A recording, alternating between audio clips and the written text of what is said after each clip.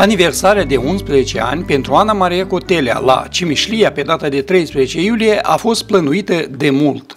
Canicula, restricțiile privind situația epidemiologică, prietenii plecați în vacanța mare puneau sub semnul întrebării desfășurarea sărbătorii. Nu și pentru Ana Maria. Împreună cu cei dragi, ea și-a invitat prietenii la sărbătoare.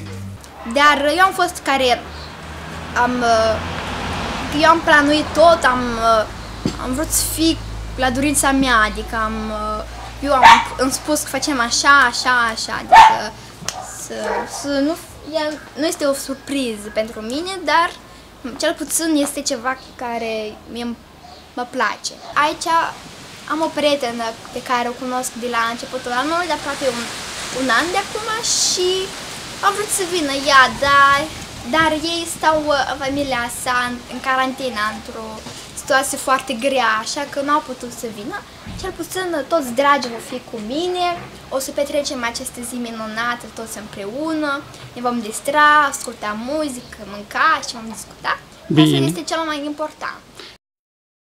Flori, cadouri, cuvinte de felicitare, sesiuni foto cu prietenii, dansuri, cântece, de toate Ana Maria a avut parte la ziua ei de naștere. Este un antișor de argint.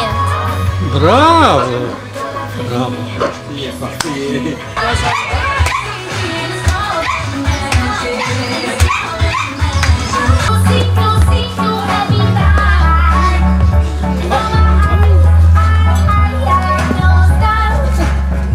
Surpriza sărbătorii a fost o tortă cu lumânări aprinse, focuri de artificii improvizate. Lumea copiilor rămâne în vise colorate mereu. Să trăiască, mulți ani trăiască, la mulți ani.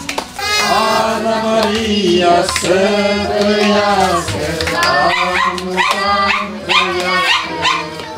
La mulți ani, Ana! Mulți ani! Bate vântul, să strânge.